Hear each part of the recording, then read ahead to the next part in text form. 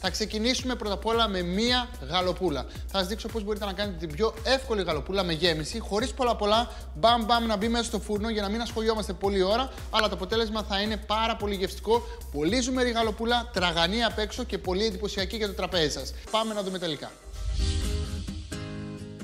Για τη γαλοπούλα γεμιστή με μήλα και κάστανα θα χρειαστούμε για τη γέμιση μία κουταλιά της σούπας ελαιόλαδο, ένα κρεμμύδι, μία κουταλιά της σούπας τιμάρι, δύο στικ σέλερι, 200 γραμμάρια μπέικον, ένα κόκκινο μήλο, μία σκελίδα σκόρδο, 200 γραμμάρια κάστανα βρασμένα, ένα κύβο μανιταριού μάτσι, 200 γραμμάρια νερό και μία κουταλιά της σούπας βούτυρο. Για τη γαλοπούλα θα χρειαστούμε 2,5 κιλά γαλοπούλα, 75 γραμμάρια βούτυρο, αλάτι, πιπέρι, 2 κουταλιές της σούπας ελαιόλαδο, μία φέτα πορτοκάλι και 3 κλωναράκια δεντρολίβανο. Για το σερβίρισμα θα χρειαστούμε 4 κόκκινα μήλα, μία κουταλιά της σούπας ζάχαρη κρυσταλλική, 50 γραμμάρια βούτυρο, ένα κλωναράκι δεντρολίβανο, μία κουταλιά της σούπας μέλι, αλάτι και 20 γραμμάρια κονιάκ. Και πάμε να ξεκινήσουμε. Πρώτα απ' όλα θα ξεκινήσουμε με τη γέμισή μας, οπότε θέλω μία τηγανάρα πάνω στη φωτιά. Λοιπόν, πολύ απλά τα πράγματα. Να σας πω ότι γενικά όλες οι συνταγές που έχω δουλέψει στο εξωτερικό με γεμίσεις έχουν σαν βάση το ψωμί. Γενικά αυτό ξενίζει πάρα πολύ στον Έλληνα. Είναι κάτι που δεν μπορεί να συνηθίσει. Γι' αυτό το λόγο σε αυτή την γαλοπούλα δεν θα βάλω καθόλου ψωμί για να είμαι σίγουρος πως θα την ετοιμάσετε όλοι σας. Το ρύζι είναι μια καλή επιλογή, αλλά το ρύζι, άμα δεν ξέρουμε να το χρησιμοποιήσουμε, συνήθως τραφάει όλα τα ζουμιά από τη γαλοπούλα. Αφιδατώνουμε τη γαλοπούλα, κάνουμε ένα γευστικό ρύζι, αλλά ουσιαστικά αποδυναμώνουμε τη γεύση της γαλοπούλας. Και είναι κάτι που δεν θέλουμε. Γι' αυτό το λόγο η γέμισή μας θα είναι πάρα πολύ γευστική σήμερα και θα δίνει γεύση καθώς ψήνεται στη γαλοπούλα μας αντί για να της κλέβει τη δόξα, θα της δίνει περισσότερη δόξα. Λοιπόν, ψιλοκόβουμε το κρεμμυδάκι μας εδώ. Τέλεια. Και ξεκινάμε στην αρχή με ελαιόλαδο. Ελάχιστο. Κοιτάξτε, ούτε μισή κουταλιά της σούπας δεν έχω βάλει γιατί θα ρίξω στη συνέχεια και το μπέικον. Ρίχνω μέσα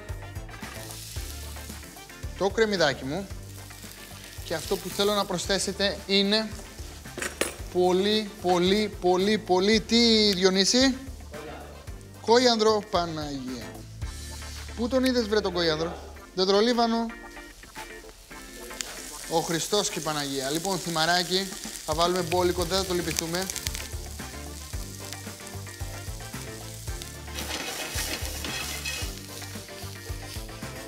Τέλεια. Λοιπόν, τώρα έχω σελερί. Θα ψιλοκόψω και το σελερί.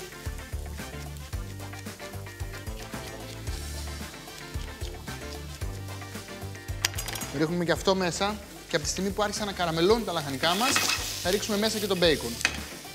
Μπέικονάκι, ωραίο, ωραίο, γιατί θέλουμε να δώσουμε μια καπνιστή γεύση στη γαλοπούλα μας. Όπως βλέπετε έχω πάρει ολόκληρο κομμάτι μπέικον, δεν θέλουμε φέτες, δεν μας κάνουν οι φέτες αυτή τη συνταγή.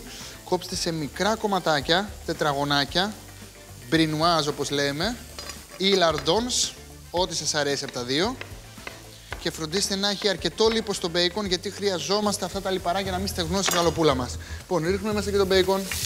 Όλα λα. Κάτι υπέροχο άρχισε να γίνεται. Πιστέψτε με, είναι υπέροχο. Φανταστικό. Τώρα, θέλω ένα μιλαράκι εδώ. Κόκκινο μήλο. Θέλω να λιώσει, να γίνει πουρές και ουσιαστικά να αρωματίσει μέσα ε, τη γαλοπούλα μας. Να σας πω ότι είναι πολύ ωραίο σύστημα καθώς ψήνουμε γενικά πουλερικά μέσα στο φούρνο. Πάντα να βάζουμε ένα μήλο μέσα για να φροντίζουμε καθώς ψήνεται το μήλο να μην αφυδατώνεται η γαλοπούλα μας. Το μήλο μας βοηθάει στο να κρατήσουμε ζουμερή τη γαλοπούλα μας και επίσης είναι καταπληκτικό συνοδευτικό σαν σάλτσα. Γιατί λιώνει καθώς ψήνεται το μήλο και γίνεται αυτόματα σάλτσα για τη συνταγή μας. Όπως βλέπετε, έχω κόψει ωραία κυβάκια εδώ. Ούτε καν θα φαίνεται το μήλο, στο τέλος θα διαλυθεί μες στη γέμιση, δεν θα φαίνεται καθόλου. Πιστέψτε με. Και όπως είναι, να δούμε το μπέικον έχει πάρει χρώμα. Λίγο ακόμα. Λίγο ακόμα χρωματάκι το μπέικον και μόλις πάρει χρώμα το μπέικον ρίχνουμε μέσα και τα μήλα. Βουαλά. Κοιτάξτε εδώ τι ωραία χρώματα. Κοιτάξτε εδώ τι ωραίες γεύσεις. Το μήλο θα σπάσει τη λιπαρότητα που έχει το μπέικον και θα ισορροπήσει όλο μας το φαγητό. Θα προσθέσω μία σκελίδα σκόρδο. Και αυτή σε μεγάλα κομμάτια δεν έχει καμία σημασία. Θα λιώσει καθώς ψήνει τη γαλοπούλα μέσα στο φούρνο. Και τα κάστανά μας. Μία γέμιση χωρίς κάστανα είναι φτωχή, το ξέρετε όλοι. Θα ρίξουμε μέσα και τα καστανάκια μας εδώ και αρχίζουμε να σοτάρουμε όλα τα υλικά. Και στο τέλος θα χρειαστεί να ρίξουμε και λίγο βουτυράκι. Αλλά πριν ρίξουμε το βουτυράκι, πρέπει όλα αυτά τα υλικά να δέσουν με έναν τρόπο και σε αυτό θα βοηθήσει ο ζωμός μας. Αυτό το σημείο, αφού σοτάρουμε καλά τα λαχανικά μας, μαζί με όλα τα υπόλοιπα υλικά,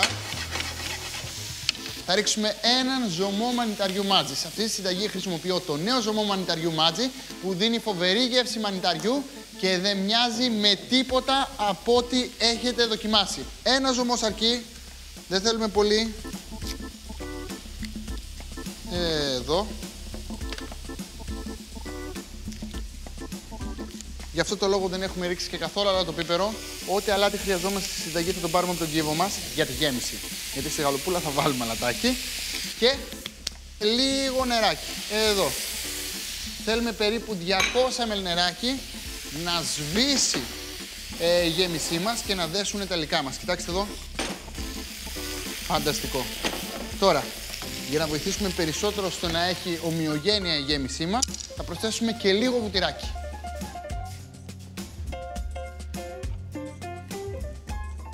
Εδώ. Έχουμε και το βουτυράκι μας.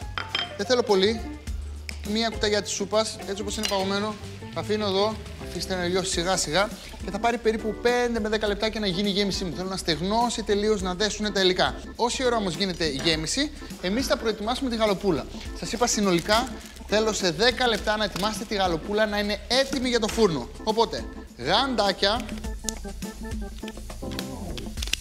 Καταπληκτική διαδικασία. Σε περίπτωση που δεν έχετε ξαναμαγειρέψει γαλοπούλα ποτέ σας, να σας πω ότι δεν είναι τίποτα. Είναι κάτι εύκολο, τζάμπα σας φοβίζει. Συμπεριφερόμαστε σε γαλοπούλα ακριβώς με τον ίδιο τρόπο που συμπεριφερόμαστε σε όλα τα άλλα πουλερικά και είναι πάρα πολύ απλό. Το μόνο που πρέπει να σκεφτούμε είναι ότι επειδή είναι αρκετά στεγνό το στήθος της γαλοπούλας και είναι πολύ μεγαλύτερο από το κοτόπουλο, θα χρειαστεί παραπάνω ώρα μέσα στο φούρνο. Οπότε πρέπει να προσέξουμε να μείνει ζουμερή η γαλοπούλα μας. Τα πράγματα είναι πολύ πολύ απλά. Πηγαίνουμε από το πάνω μέρος εδώ της γαλοπούλας και εδώ πέρα υπάρχει αυτό το κοκαλάκι, το γιάντες που λέμε, που υπάρχει και στο κοτόπουλο. Και αυτό που θέλω να κάνετε είναι να βάλετε το χέρι σας μέσα και απλά να το σπάσετε. Έτσι, με αυτόν τον τρόπο μειώνουμε το χρόνο ψησίματος και επίσης είναι πολύ πιο εύκολο το φιλετάρισμα. Πολλές φορές, άμα δεν κόψουμε αυτό το κοκαλάκι, καθώς φιλετάρουμε τη γαλοπούλα μας, μένει πολύ κρέας πάνω στην καρκάσα, στο κόκαλο που έχει ε, το κοτόπουλο ή η γαλοπούλα. Τώρα, θα ανοίξω λίγο την πετσούλα εδώ πέρα. Λίγο. Αλλά προσοχή να μην σπάσει σε κανένα σημείο, γιατί άμα σπάσει έστω και λίγο, καθώς ψήνεται, ανοίγει και εξαφανίζεται τελείως η πέτσα. Οπότε, κόβουμε το βουτυράκι μας. Θέλουμε περίπου 75 γραμμάρια βούτυρο σε ωραίες φετούλες. Βάζουμε μία φετούλα εδώ. Βάζουμε μία φετούλα εδώ. Το στήθος θέλουμε κυρίως να κρατήσουμε ζουμερό, γιατί το μπούτι είναι σχεδόν σίγουρο ότι θα κρατηθεί ζουμερό. Έχει αρκετά λιπαρά από μόνο του και είναι το κρέας έτσι δοκιμένο που όντως δεν υπάρχει περίπτωση να στεγνώσει. Αυτό που υπάρχει περίπτωση να στεγνώσει είναι το στήθος. Αλλά τώρα με αυτό που κάναμε δεν υπάρχει περίπτωση ούτε και αυτό να στεγνώσει. Τώρα, Διονύση, έλα λίγο. Για να μην πιάσω το άλλο το πίπερο. Γρήγορα, βάλε μου αλάτι και πιπέρι στη γαλοπούλα. Ωραίος. Πάντα είναι χρήσιμο να έχετε έναν Διονύση στην κουζίνα. Μην το λυπηθείς. Βάλε. Βάλε και πιπέρι. Ωραίος. Γρήγορα. Γίνεται και γέμιση εδώ. Βάλε λίγο ακόμα. Ωραία. Ρίξε και λίγο ελαιόλαδο. Τώρα θα μου πεις έβαλες βούτυρο μέσα και ελαιόλαδο από έξω. Ναι, άκουσε με. Ωραίος. Τέλεια, καταπληκτικός. Φτάνει. Ευχαριστώ. Cheers, mate. Λοιπόν, με το που κάναμε όλη αυτή την κίνηση, παίρνουμε τα γαντάκια μας πάλι. Από ότι θα έχετε έναν δίπλα στην κουζίνα για να φροντίσετε να στρίξετε το αλάτι και το πιπέρι. Γιατί είναι δώρο άδωρο να φοράς ε, ε, γάντια ε, να προσπαθήσει τόση ώρα να μην πιάσει τίποτα μέσα στην κουζίνα με τα γάντια και να πιάσει τελικά το αλατοπίπερο. Αυτομάτως έχετε πιάσει τα πάντα μέσα στην κουζίνα γιατί το αλατοπίπερο είναι ο νούμερο ένα κωδικός που χρησιμοποιούμε μέσα στην κουζίνα. Και πάμε τώρα να γεμίσουμε τη γαλοπούλα. Φέρνουμε τη γέμιση δίπλα μας και υπομονετικά αρχίζουμε να βάζουμε όλη τη γέμιση μέσα. Γενικά αυτό που κάνω τώρα είναι ένα ορθόδοξο. Δεν θέλω να βάλετε τη γέμιση ζεστή μέσα στη γαλοπούλα. Θέλω να αφήσετε λίγο να κρυώσει, αλλά υποσχέθηκα ότι θα γίνει σε 10 λεπτά. Και τελειώσαμε με τη γέμιση. Τώρα, έχω λίγο σκινάκι εδώ. Θα πάρω, θα δέσω τα ποδαράκια.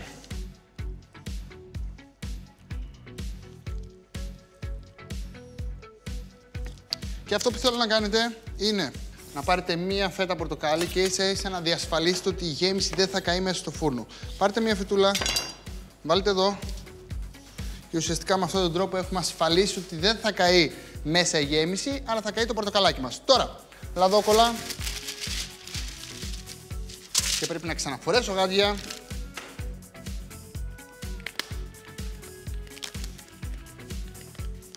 Και θέλουμε λίγο δεντρολίβανο μην το λυπηθείτε, μας αρέσει το δρολίβανο, αλλιώς βάζουμε θυμαράκι. Παίρνουμε τη γαλοπούλα, τη μεταφέρουμε σε μια μεγάλη λαδόκολα. Ε, εδώ. Βάζουμε λίγο δεντρολίβανο εδώ και λίγο δεντρολίβανο εδώ. Νομίζω ότι έγινε πολύ όμορφη. Τυλίγουμε. Και έτσι όπως τυλίξαμε ωραία, παίρνουμε και λίγο αλουμινόχαρτο. Μοιραζόμαστε δύο κομματάκια αλουμινόχαρτο.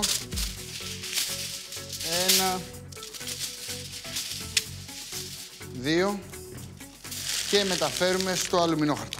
Ε, εδώ. Τυλίγουμε καλά. Φροντίζουμε η ένωση της κλαδοκαλάς να είναι από πάνω. Τυλίγουμε καλά. Και νομίζω ότι πια έχετε γίνει ειδικοί. Ξέρετε ακριβώς πώς πρέπει να ψήσουμε την γαλοπούλα, Σχαρίτσα και τα ψή. Δυόμιση ώρες θα ψήσουμε όπως είναι την γαλοπούλα, Μετά θα ξεσκεπάσουμε και θα ψήσουμε άλλη μισή ώρα στους 180 βαθμούς. Οπότε πίσω σε τρεις ωρίτσες στο σύνολο και μόλις η γαλοπούλα είναι έτοιμη, ή μάλλον 10 λεπτά πριν να είναι έτοιμη, θα ετοιμάσουμε και μια πολύ ωραία γαρνιτούρα για τη γαλοπούλα μας. Και η γαρνιτούρα μας θα είναι ψητά μήλα στο τηγάνι. Πολύ εύκολη συνταγή, πολύ γρήγορη, σε 10 λεπτά και θα είναι έτοιμη και θα σερβίρουμε τη ζεστή γαλοπούλα μας. Η γαλοπούλα έχει κυρίαρχη θέση στο χριστουγεννιάτικο τραπέζι γιατί είναι προσιτή στην τιμή και μεγάλη σε μέγεθος, ιδανική για οικογενειακά γεύματα. Ο Άγγλος βασιλιάς Εδουάρδος ο VII ήταν εκείνος που έκανε συνήθεια την κατανάλωσή της στα Χριστούγεννα. Μέχρι τότε, το γιορτινό μενού των Ευρωπαίων περιελάμβανε χοιρινό, αρνί, κοτόπουλο, χίνα, πάπια, φασιανό, ακόμα και κύκνο. Στα μέσα του 20ου αιώνα, η γεμιστή γαλοπούλα καθιερώθηκε ως χριστουγεννιάτικο κυρίως πιάτο. Η γαλοπούλα μου είναι σχεδόν έτοιμη και ήρθε η ώρα να ετοιμάσουμε τη γαρνιτούρα που σας έλεγα. Μήλα ψητά στο τηγάνι. Πολύ εύκολη συνταγή. Πάρτε 4 μήλα, κόψτε τα εδώ στα 4. Τέλεια. Ε, θα κρατήσετε μαζί με τη φλούδα για να βγει πιο εορταστικό το φαγητό. Σίγουρα η φλούδα δυσκολεύει ε, στο να φάμε τα μιλαράκια μας. Θα ήταν πιο ωραία χωρίς τη φλούδα, αλλά είναι πολύ πιο εντυπωσιακά, οπότε δεν θα τα βγάλετε ούτε κι εσείς. Και βέβαια είναι πολύ πιο εύκολη συνταγή. Άμα δεν καθαρίσει μήλα, τίποτα δεν είναι. Σε 5 λεπτά και θα είναι έτοιμα. Τώρα, πάρτε το μαχαίρι σας και αφαιρέστε το μεσαίο κομμάτι, ε, εδώ που έχει τα σποράκια, δεν τα θέλουμε. Είναι και σκληρό αυτό το μέρος του μήλου, οπότε γενικά δεν θέλουμε να το χρησιμοποιήσουμε.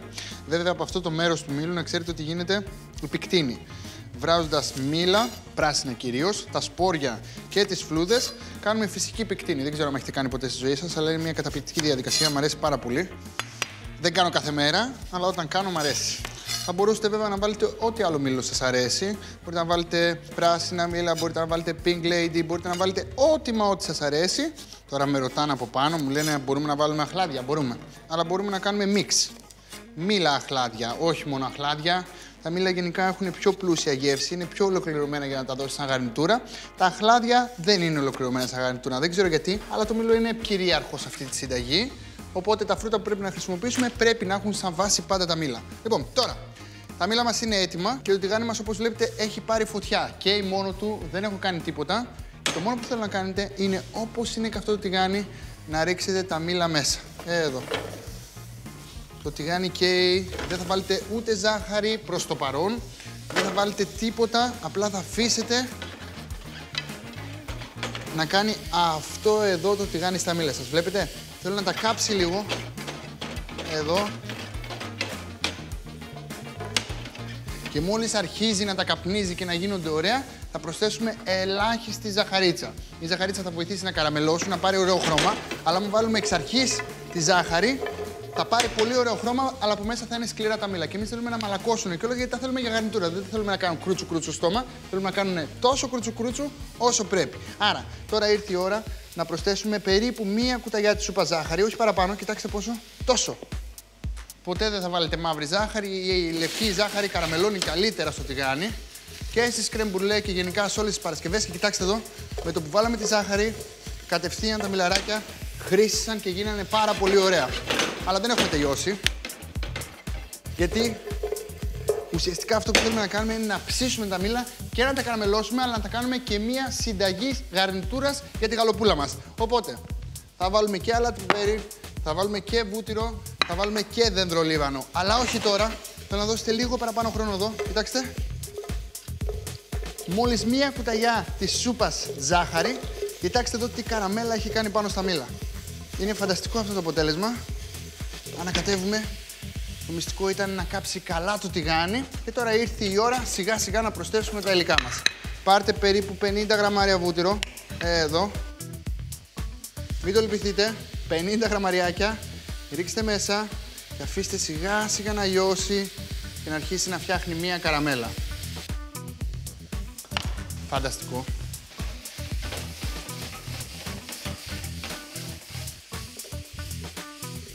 Πόσο σεξι και πόσο ωραία που έχουν γίνει τα μήλα γενικά. Είναι δελεαστικά, θέλεις να φας. Ήρθε η ώρα μαζί με το βουτυράκι να ρίξουμε λίγο δεντρολίβανο. Βοηθάει πάρα πολύ στη γεύση και μία κουταλιά της σούπας μέλι. Εδώ. Δεν είναι γλυκά τα μήλα. Πιστέψτε με, βάλαμε ελάχιστη ζάχαρη και ελάχιστο μέλι. Το αποτέλεσμα δεν θα είναι σαν να τρώμε γλυκά μήλα. Γιατί, Γιατί τώρα θα ισορροπήσουμε όλη αυτή τη γεύση με τον κύριο αλάτι. Ρίχνουμε αλατάκι μέσα. Όχι, Παναγία μου.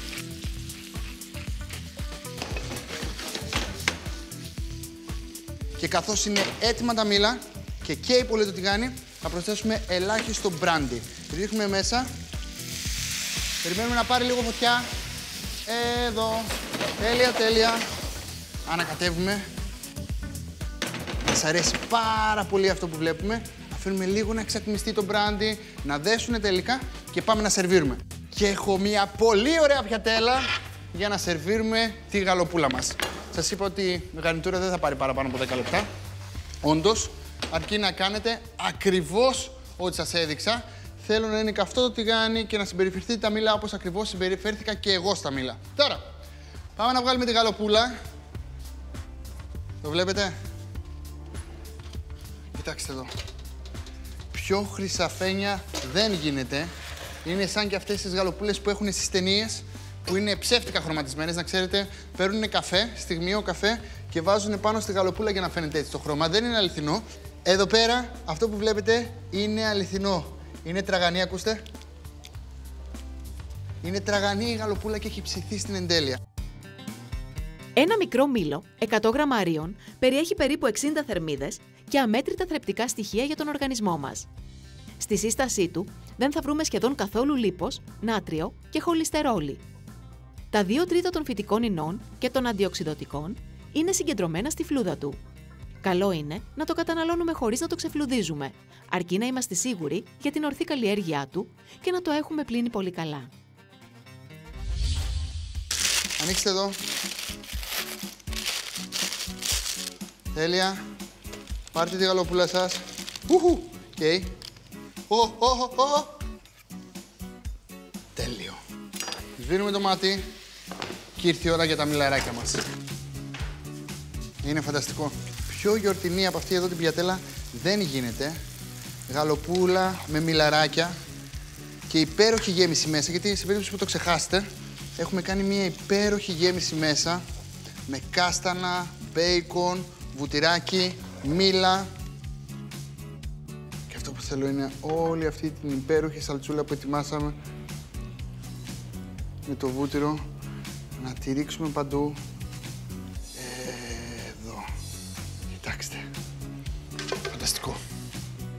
Ένα ψαλιδάκι. Να κόψουμε εδώ πέρα το σπάγκο. Άμα θυμάστε είχαμε βάλει ένα πορτοκαλάκι εδώ πέρα για να κρατάει τη γέμιση. Και η γέμιση είναι μέσα. Είναι φανταστικό.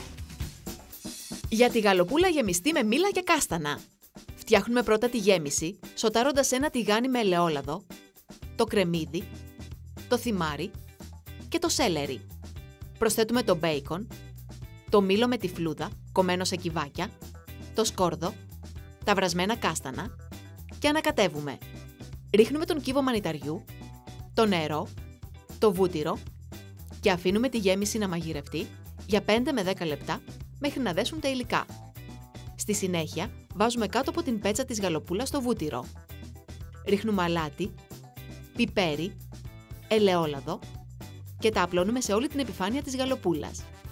Έπειτα βάζουμε τη γέμιση, δένουμε τα πόδια της γαλοπούλας με σπάγκο και καλύπτουμε τη γέμιση με μία φέτα πορτοκαλιού.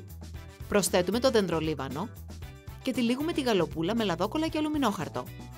Τη μεταφέρουμε σε ένα ταψί με σχάρα και την ψήνουμε σε προθερμασμένο φούρνο στους 180 βαθμούς για 2,5 ώρες. Στο τέλος την ξεσκεπάζουμε και την ψήνουμε για ακόμα 30 λεπτά μέχρι να πάρει χρώμα. Για τη γαρνιτούρα κόβουμε τα μήλα και αφαιρούμε τα κουκούτσια. Έπειτα τα σοτάρουμε σε ένα καυτό τηγάνι μέχρι να πάρουν χρώμα. Ρίχνουμε τη ζάχαρη και τα αφήνουμε να καραμελώσουν. Προσθέτουμε το βούτυρο, το δεντρολίβανο, το μέλι και το αλάτι. Στο τέλος, σβήνουμε με το κονιάκ, το αφήνουμε να εξατμιστεί και ανακατεύουμε. Αφού ψηθεί η γαλοπούλα, αφαιρούμε τον σπάγκο και τη φέτα πορτοκαλιού, σερβίρουμε τη γεμιστή γαλοπούλα και προσθέτουμε τα καραμελωμένα μήλα. Και ήρθε η ώρα να σας δείξω πώς είναι η γαλοπούλα εσωτερικά. Απ' όλα κοιτάξτε εδώ, η πετσούλα έχει γίνει τόσο τραγανή και τόσο ωραία. Το μπούτι έχει πραγματικά λιώσει. Το βλέπετε, διαλύεται έτσι όπως ακριβώς πρέπει να είναι. Και το πιο σημαντικό είναι το στήθος. Το στήθος πρέπει να μείνει πάρα πολύ ζουμερό και πάρα πολύ ωραίο. Βλέπετε, δεν χρειάζεται καν να πιέσει το μαχαίρι σου. Κόβεται σαν βούτυρο και ουσιαστικά είναι τελείο. Ωραίο κρεατάκι, έτσι όπως ακριβώς πρέπει να είναι. Mm. Η γέμιση είναι μοναδική. Γιατί μην ξεχνάτε ότι έχουμε βάλει το ζωμό μανιταριών. Οπότε έχει έντονη γεύση από μανιτάρια, σε συνδυασμό με όλα τα υπόλοιπα. Τα κάστανα, τα μήλα που έχουμε ρίξει και την πανσέτα βέβαια. Είναι κάτι μοναδικό, Παναγία μου. Δεν έχει καεί, έχει την υγρασία της και συγχρόνως αυτομάτως καθώς ψινότανε έδινε υγρασία στην γαλοπούλα μας για να μην ξεραθεί. Είναι μια φανταστική επιλογή. Είναι μια γαλοπούλα που άμα βγάλετε σε ένα τραπέζι πραγματικά θα κερδίσετε τις εντυπώσεις. Φάω λίγο πετσουλά. Mm. Και βέβαια, αυτό που δεν πρέπει να ξεχνάμε είναι το μιλαράκι. Μία φανταστική γαρνιτούρα. Πάρα πολύ πρωτότυπη. Mm. Που όταν φάτε συνδυαστικά μαζί με τη γαλοπούλα, είναι κάτι μοναδικό. Σας το υπόσχομαι. Μην ξεχάσετε να κάνετε ακριβώς συνταγή όπως σας έδειξα. Μήλο μαζί με γαλοπούλα είναι συνδυασμός που θα τρελαθείτε. Είναι φανταστικό, δεν μπορώ να σταματήσω να τρώω. Ε, μεταξύ, θα βουτήξω και λίγο τη γαλοπούλα μέσα στη σαλτσούλα από τα μήλα. Που γίνεται ουσιαστικά σαν η cranberry sauce που βάζουμε στη γαλοπούλα και γίνεται κάτι μοναδικό. Ακριβώς ό,τι έκανα, κάντε και εσείς και στο τέλος θα έχετε την πιο νόστιμη, τρυφερή, ζουμερή, ε, exotic γαλοπούλα που έχετε δοκιμάσει.